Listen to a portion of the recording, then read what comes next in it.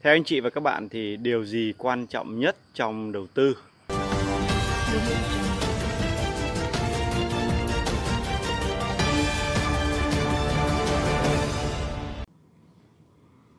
Trong đầu tư thì cái gì quan trọng nhất?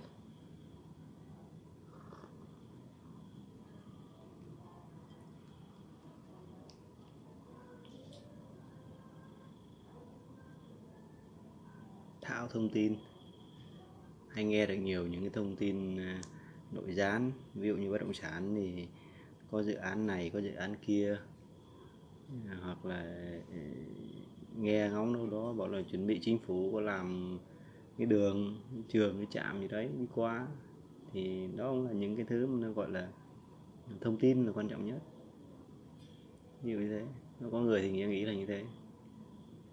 Thì trong đầu tư chứng khoán thì uh, thông tin cũng là quan trọng nhất bởi vì là ví dụ như là kết quả hoạt động kinh doanh của doanh nghiệp thì được biết trước à, mua trước cổ phần cổ phiếu. Hoặc là ví dụ như là à, các dự án bất động sản à, thì nghe trước được là, là, là, là các cái thông tin như vừa nói đó. Hoặc là chính phủ bật gọi là giống như kiểu là thông tin mật nhưng mà bị lộ. Nó gọi nói chung nó gọi là sử dụng cái thông tin nội gián để mà giao dịch. Thì thực sự mà nói thì thông tin đóng vai trò rất là quan trọng rất là quan trọng. Có người thì lại vào cho rằng là ngoài cái thông tin ra ngoài cái thông tin ra thì phải có kiến thức kiến thức về lĩnh vực đó thì kiến thức là quan trọng nhất. Kiến thức tức là ví dụ như là bên chứng khoán thì phải biết uh, uh, phân tích tài chính doanh nghiệp hiểu được doanh nghiệp làm gì rồi uh, hiểu được bản chất doanh nghiệp tính toán và dự phóng được kết quả hoạt động kinh doanh.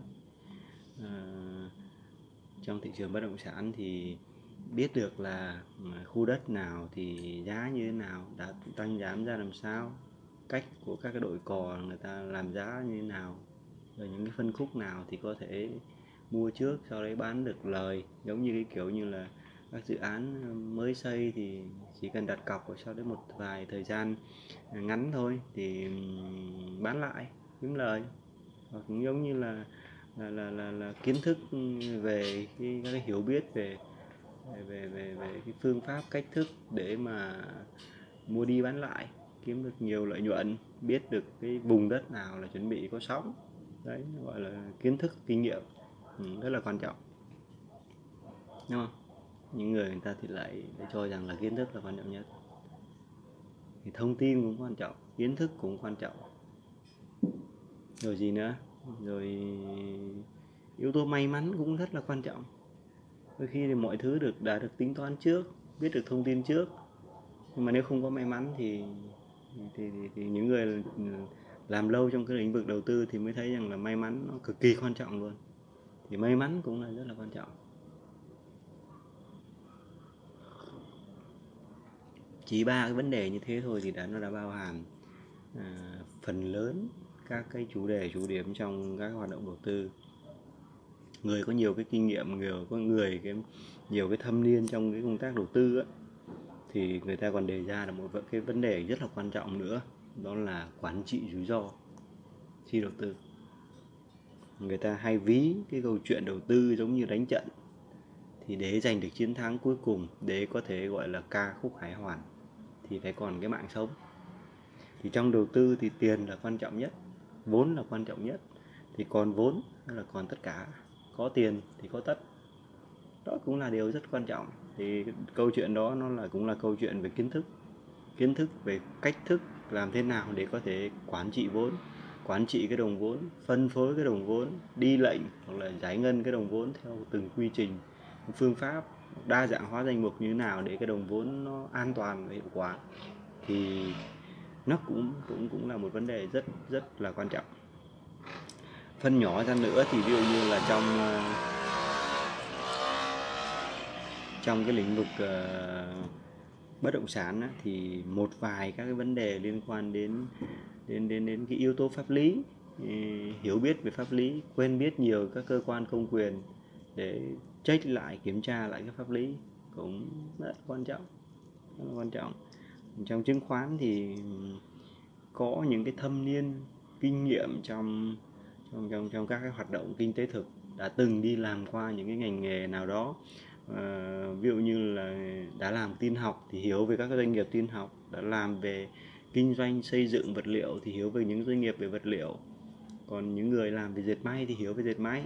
Ai làm nghề nào thì hiểu về đấy. Đó cũng là điều rất quan trọng để ra quyết định đầu tư đúng vậy thì thực tế mà nói thì chúng ta vừa lướt qua rất nhiều những cái vấn đề đặt ra những cái câu hỏi và đặt ra những cái chủ đề ờ, cũng như là những cái băn khoăn thắc mắc của nhiều người. Và khi mà đến đầu tư đến một cái cái cái thời gian đủ dài ấy, thì mới phát hiện ra một điều rằng là mọi thứ đấy thì nó đều là rất quan trọng nhưng nó chưa hẳn là quan trọng nhất và chưa hẳn có những điều đó đã đầu tư đầu tư thành công. Rất nhiều người có những điều điều đó, nhưng mà đầu tư không thành công và vẫn thất bại, vẫn bị những cái vấn đề liên quan tới tới tới tới tới tới cái việc được mất hoặc là cái vấn đề nào đó trong quá trình đầu tư mà nó gây ra những cái mất mát. Có thể họ thành công, đầu tư trong rất nhiều những thương vụ thành công, nhưng mà lại chỉ một thôi, một trong số đó thì thất bại thôi, mà lại là thất bại lớn thì cuối cùng thì cũng sôi hỏng bóng không. Vậy thì nói đi thì lại nói lại, mới phải thấy là một câu chuyện đó là thế hóa ra là ở đây có cái gì quan trọng. Vậy tóm lại là cái gì quan trọng? Thì theo tôi, thì trao đổi với anh chị và các bạn cũng 6 7 phút như vậy rồi, thì qua nhiều năm chinh chiến đầu tư trên thị trường chứng khoán, đến ngày hôm nay thì cũng được tự hào là cũng đã có trên 10 năm thâm niên đọc hiểu cũng như là những kinh nghiệm trên lĩnh vực chứng khoán cũng có ít năm trong cái lĩnh vực là kinh doanh, đầu tư, bất động sản. Và cũng có một khoảng thời gian không hề ngắn trong cái việc là tham gia làm cái công tác quản lý cũng như là làm nhân viên trong các cái lĩnh vực kinh doanh ngoài đời thực à, liên quan tới các cái sản phẩm cụ thể. Từng làm nhân viên kinh doanh, làm sale, quản lý sale, rồi cũng là từng làm các cái tư vấn quan quan trọng liên quan tới những câu chuyện thương hiệu sản phẩm. Thì mới rút ra một được một cái điều mà thực sự nó là điều trọng trọng lõi và đem lại cái cái cái cái cái lợi ích đầu tư, đem lại cái hiệu quả đầu tư quan trọng nhất. Mà nó đúng như là những cái gì mà thực tế là ai cũng biết, nhưng mà không phải ai cũng cũng ứng dụng hợp lý tôi lấy một cái ví dụ để anh chị và các bạn bắt đầu mường tượng cái thứ tôi muốn chia sẻ. Um, ví dụ nhé ví dụ như ngày xưa anh chị và các bạn để học uh, cấp 2, cấp 3 chẳng hạn. Cấp 2, cấp 3 chẳng hạn. Thì một lớp học thì có rất nhiều người rất nhiều người. Và không phải tất cả sau này đều thành công. Và cũng không phải là có sự khác biệt gì nhiều trong cái câu chuyện đào tạo và giáo dục của người thầy? Phần lớn những kiến thức của thầy giáo được đưa ra đều là như nhau với tất cả mọi học học sinh, với tất cả mọi người trong cái lớp học. Tuy vậy thì sẽ có một số, một một số bạn là sẽ xuất chúng, sẽ học giỏi hơn những bạn khác. Một số bạn thì sẽ sau này sẽ làm ăn kinh doanh tốt hơn những bạn khác. Vậy thì có một vật vài người thầy theo cái hướng tiến bộ. Thì người thầy người ta nói thế này, tức là người ta trong trong ngành y á, người ta có một cái câu là phúc chủ may thầy. Phúc chủ may thầy. Còn trong ngành giáo dục thì người ta gọi là trò giỏi thì người thầy có nhiều cái cái cái may mắn trong cái câu chuyện đó. Nên là cũng là cũng truyền đạt những kiến thức như vậy. Nhưng mà người thầy người học trò đó phát huy được. Và đến người học trò đó phát huy được thì nó nằm ở cái tố chất cái bản chất của cái cái người học trò của tất cả mọi thế hệ các anh chị và các bạn đã trao qua. Thì trong đầu tư nó cũng vậy. Tất cả chúng ta đều có thể đủ các khả năng kỹ năng để tiếp cận với kiến thức. Đủ cái cá khả năng kỹ năng đến một mức độ nào đó anh chị sẽ tiếp cận được những thông tin biết trước biết được những cái gọi là trải nghiệm trong đầu tư có thanh thành công có thất bại. Biết tất nói chung là gần như những thứ, thứ gì tôi nói từ đầu video đến giờ thì anh chị và các bạn đều biết hết vẫn thất bại lý do chính chính là ở ờ, chính bản thân anh chị các bạn. Không phải vô tình mà những đứa trẻ được sinh ra mới chào đời hoặc là có một chút ờ, gọi là còn đang đang đang đang đang ở cái giai đoạn, gọi là, có thể ờ, người ta chụp vân tay để biết được cái niềm đam mê và yêu thích. Thì quan trọng nhất vẫn là do cái tố chất có phù hợp với lĩnh vực đầu tư hay không và cái tố chất đó thì có ứng dụng đúng cái phương pháp đầu tư để thành công hay không. Và cái điểm cốt lõi nữa đó là cái quản trị, không phải là quản trị về giải ngân đầu tư, danh mục đầu tư hay những cái kiến thức hàn lâm của CFA level cao nhất hoặc là những cái vấn đề liên quan đến tài chính, quản trị tài chính, quản lý quỹ mà nó mà nằm ở cái góc độ đó là quản trị cái cảm xúc, quản trị tâm lý trong đầu tư nó có một cái thứ tác động rất lớn tới anh chị và các bạn. À, tôi nhiều năm trong lĩnh vực đầu tư rồi nhưng vẫn ảnh hưởng và vẫn bị cái vấn đề liên quan tới quản trị cái cảm xúc. Cái cảm xúc ở đây tức là khi thành công thì rất là hào hứng phấn khởi quá mức. Và khi thất bại thì quá mức là bi quan. Và trong cái trạng thái mà hưng phấn quá mức hoặc là bi quan quá mức thì cái phần con nó lấn át cái phần người nói như thế thì anh chị và các bạn sẽ thấy được rằng là hơi thô tục. Nhưng thực tế nó là vậy. Trong con người chúng ta luôn có phần con và phần người. Và khi cái cảm xúc bị chi phối như vậy, thì một điều đáng buồn đó là chúng ta đưa ra những quyết định sai lầm. Khi chúng ta nhiều thương vụ thành công, chúng ta có cảm xúc, trạng thái quá hưng phấn, chúng ta sẽ có cảm giác là chúng ta bị ảo tưởng về sức mạnh. Và chúng ta sẽ nghĩ rằng là chúng ta kiểm soát được thị trường và đưa ra những quyết định trong cái trạng thái cảm xúc như vậy thường sẽ là rất ẩu dễ dẫn đến những cái thương vụ đầu tư thua lỗ rất là lớn. Nhiều người thì cũng không biết được rằng là do may mắn mà đầu tư thành công, thì cứ tưởng rằng là mình giỏi, nên là à, những cái quyết định sau cùng thì thường là dẫn đến những cái thất bại thực sự là đau lòng và nó đem đến cái sự mất mát gần như là không còn cái thành quả trước đó. Còn trong cái trạng thái cảm xúc bi quan, nó còn đau hơn, nó còn chua hơn, nó còn sót hơn. Nó mà lại được có cái liều thuốc là gọi là liều thuốc mặc zin tức là liều thuốc dùng đòn bẩy tài chính hoặc là dùng vay nợ để đầu tư, thì nó đẩy cao cái trạng thái cảm xúc. Hưng phấn cũng vậy, nhưng cái trạng thái cảm xúc bi quan nó bị đẩy cao lên. Tới mức đã từng, tôi đã từng kết thúc một phiên giao dịch, về tới nhà cháo cũng không muốn ăn. Cơm cũng không muốn hút thực sự là như thế. Cơm không muốn ăn cháo không muốn hút và trong cái trạng thái cảm xúc bi quan như vậy, thì thường cái các bi quan nó hay đến cùng một lúc. Các thông tin tiêu cực nó đổ dồn lên cho các trang thông tin, các trang internet. Nó dồn nén cảm xúc và nó đẩy chúng ta đến cái, một cái trạng thái nó còn chua hơn so với trạng thái hưng phấn. Đó chính là buông bỏ. Chỉ muốn thoát ra khỏi cái trạng thái đầu tư để cho tâm nó an, tinh thần nó thoải mái. Đây là một trong số, một trong số những cái cái cái cái cái cái vấn đề mà không phải ai cũng có thể nhận ra được trong đầu tư và nó được coi là một trong những yếu tố quan trọng nhất trong đầu tư. Nhưng có một yếu tố khác còn quan trọng hơn nữa khi đến một cái tầm cỡ, đến một cái đẳng cấp đầu tư nào đó và cái số vốn quản lý nó cao và nó nhiều, thì điều mấu chốt của đầu tư nó không, nó sẽ vượt qua được cái tôi vừa nói. Những người vượt qua được cái cấp độ này là cái cấp độ đầu tư cá nhân nó nó đã khá thành công rồi. Nhưng đến bắt đầu phải quản lý một số vốn nó lớn hơn thì câu chuyện được đặt ra ở đây đó là tính thời điểm, tính thời điểm và sẽ không mấy không mấy ai đưa ra những cái cái dự báo những cái đánh giá cho anh chị và các bạn về cái câu chuyện là thời điểm nào là thời điểm. Ở đây chúng tôi muốn nói tới không phải là câu chuyện là giao dịch hàng ngày dựa vào phân tích kỹ thuật hay dựa vào những cái cái cái, cái nhảm nhí thông thường mà nói tới anh chị với anh chị và các bạn. Ở đây ấy, đó là nói tới với anh chị và các bạn về cái câu chuyện đó là cái thời điểm giải ngân cho chung và dài hạn của mọi lĩnh vực đầu tư. Trong đó thì đang muốn nói chủ chốt đến đó là lĩnh vực chứng khoán và lĩnh vực bất động sản. Thì khi nói về timeline, khi nói về thời gian, thì chúng ta có nhiều công cụ để để phân tích và dự báo cái này lắm.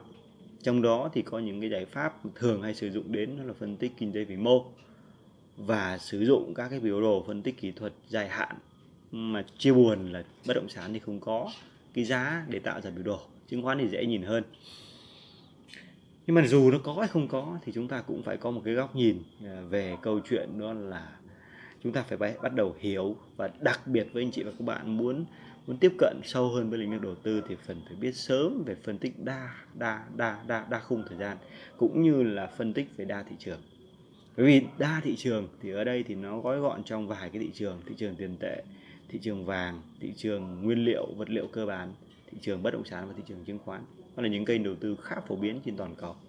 Và khi đa thị trường thì chúng ta sẽ nhận thấy những cái tín hiệu các cái thị trường đan xen nhau, có mối liên hệ móc xích với nhau và sẽ nhìn nhận được những cái cái xu hướng tính theo tính theo thời gian dài và biết được cái chu kỳ kinh tế. Nhiều sách nói về chu kỳ rồi có người thì nói rằng 8,8 năm là một chu kỳ có người thì nói rằng 9,5 năm là một chu kỳ có người thì nói là 10 năm người thì nói là 11 12 năm. Nói chung nó có một cái chu kỳ có một chu kỳ có một chu kỳ nhưng nó hoàn toàn không thể đưa ra một con số chính xác được. Đến ngay cả cái chu kỳ gọi là gieo hạt gặt lúa nó cũng phải là cộng trừ số ngày. Bao nhiêu mấy tháng thì bắt đầu có có có có, có hoa gạo trổ bông rồi ờ, lúa trổ đồng đồng, hoa gạo trổ bông rồi, sau đó mới đến cái câu chuyện là lúa chín, rồi là gặt. Mà gần gặt thì có cơn bão phát là nói thật là gọi là xuống sông, xuống biển hết. Thì công cái câu chuyện ở đây cũng vậy. Câu chuyện ở đây, cái câu chuyện chu kỳ kinh tế 5 năm 10 năm 7 năm 10 năm, chu kỳ dài hạn. Thì không ai có thể đoán chính xác được là bao nhiêu năm, nó sẽ đến một cái một cái chu kỳ. Nhưng chúng ta phải có cái mường tượng nhất định có thể thì chúng ta dự báo 10 năm, nhưng mới 9 năm thôi thì chu kỳ nó đã ập tới. Và đôi khi chúng ta dự báo là 10 năm, nhưng mà 12 năm chu kỳ nó vẫn chưa ập tới. Tôi lấy ví dụ như cái chu kỳ kinh tế của giai đoạn 2009 2019 đấy 10 năm rồi. Từ khủng hoảng kinh tế 2008 đến nay là 11 năm rồi. Nó vẫn không ngập tới. Và làm cho rất nhiều các các chuyên gia dự báo về kinh tế thế giới, trong nước, quốc tế đều fail hết, lỗi hết. Bất động sản cũng vậy. Đấy từ năm 2009 đến nay, bất động sản của chúng ta thì thăng thăng trầm trầm, rồi giai đoạn tăng mạnh. Và nhiều dự báo của chúng tôi rằng là dự báo thì thị trường chứng bất động sản ờ, sẽ đóng băng vào năm 2019 thực tế đến nay thì một vài phân khúc nó cũng có suy giảm nhẹ, một vài phân khúc nó cũng ít giao dịch, nhưng mà nó không đóng băng. Rất nhiều vùng đất nó vẫn tăng. Đấy. thế nên là câu chuyện là dự báo nó là câu chuyện rất khó, nhưng cái câu chuyện dự báo là vẫn phải làm và biết được dự báo thì chúng ta sẽ có những cái cái cái cái cái hành động, có những kế hoạch hành động nó nó phù hợp, nó phòng ngừa được những cái rủi ro mà mà mà mà có thể gọi là cơn bão nó có thể đến cuốn bay cả một cái cái làng, cuốn bay cả một cái huyện, cuốn bay cả một tỉnh. Thậm chí nó có thể tàn sát, gọi là nhà cửa, ruộng vườn, rồi đất đai con người của cả một quốc gia. Thì chúng ta phải làm công tác dự báo. Thì trong kinh tế cũng vậy. Tiền là là là sinh mạng tiền là máu của hoạt động đầu tư thì chúng ta phải có công tác dự báo vậy thì trao đổi với anh chị như vậy đấy để một cái câu chuyện tổng kết năm thì công tác dự báo thì rất nhiều tôi đã làm rất nhiều các công tác dự báo trên kênh Thắng Ơi TV trong suốt 3 4 năm trở lại đây. Đặc biệt năm 2019 là công tác dự báo rất nhiều để phòng ngừa các rủi ro cho các anh chị và các bạn. Thì câu chuyện đó là câu chuyện tích cực, nó là cái ý tham khảo của nhóm Thắng Ơi TV cũng như là admin Lê Văn Thắng à, gửi tới anh chị và các bạn để chúng ta có những cái mường tượng về cái câu chuyện này và để đưa ra được cái timeline tức là cái thời điểm để giải ngân. Thì có những cái thời điểm chúng tôi nói thẳng nói, nói đi vào vấn đề nhưng mà không phải lúc nào phải chúng tôi cũng có thể đưa ra những cái cái, cái tỷ lệ thành công nó nó cao. Đôi lúc nó cũng vẫn là cái sự thất bại cũng như là dự báo chưa đúng chưa phù hợp. Nhưng công tác dự báo là vẫn là cần thiết. Cần thiết để để để để để, để đưa ra một cái cái thời điểm cái thời điểm gọi là phù hợp cho câu chuyện gọi là đầu tư thành công và quản trị cái rủi ro thành công. Đây là những điều rất mấu chốt mà ít ít ít các cái các cái tổ chức, các cái đơn vị đưa ra được được cái con số chính xác. Và chúng tôi cũng không chắc chắn về câu chuyện chúng tôi có khả năng để đưa ra con số chính xác về cái thời điểm nào là phù hợp nhất. Nhưng cái việc mà được dự báo thời điểm như thế và và và tìm kiếm một cái cái đáp số đúng là điều rất rất quan trọng, đặc biệt quan trọng đối với những quỹ đầu tư trên 500 triệu đô trở lên. Là những cái quỹ đầu tư mà họ cần phải biết và phải dữ liệu được cái xu hướng cái chu kỳ một cách ừ, hiệu quả để họ có thể giải ngân. Bởi vì với 500 triệu đô trở lên mà giải ngân thì phải giải ngân hết vài tháng. Và chu kỳ đầu tư của họ phải lên tới vài năm, thậm chí vài chục năm.